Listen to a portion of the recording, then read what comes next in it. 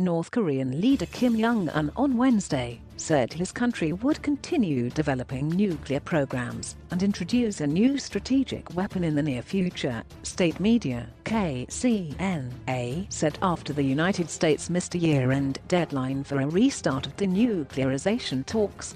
As the US makes gangster-like demands including continuing joint military drills with South Korea, adopting cutting-edge weapons and imposing sanctions, there were no grounds for North Korea to be bound any longer by the self-declared nuclear and intercontinental ballistic missile test moratorium, Kim said.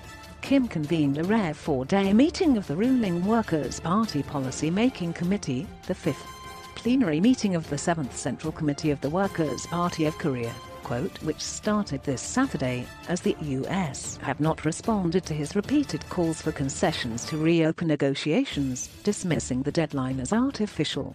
The DPRK will steadily develop necessary and prerequisite strategic weapons for the security of the state until the US rolls back its hostile policy towards the DPRK and lasting and durable peacekeeping, quote Kim said in the plenary.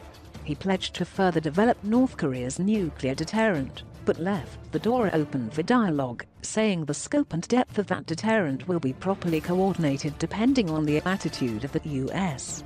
The world will witness a new strategic weapon to be possessed by the DPRK in the near future, Kim said, using the acronym for North Korea's official name, the Democratic People's Republic of Korea.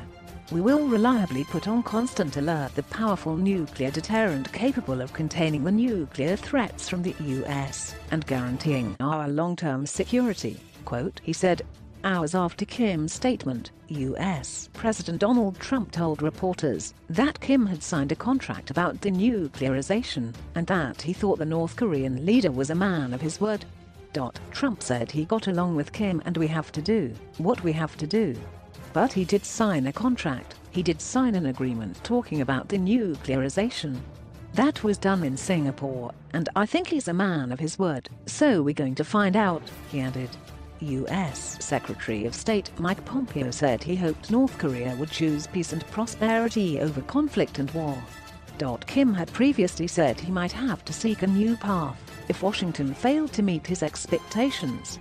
U.S. military commanders said Pyongyang's actions could include the testing of an intercontinental ballistic missile ICBM, which it has halted since 2017, alongside nuclear warhead tests. Kim's latest threats come as American officials closely monitor North Korea following its promise in December to deliver a Christmas gift to the U.S the specific language, North Korea referred to its first successful intercontinental ballistic missile ICBM launch in 2017 as a gift, sparked speculation that Pyongyang could do something equally provocative, though the holiday came and went without any weapons test. Kim's harder line could have political ramifications for Trump and his re-election campaign.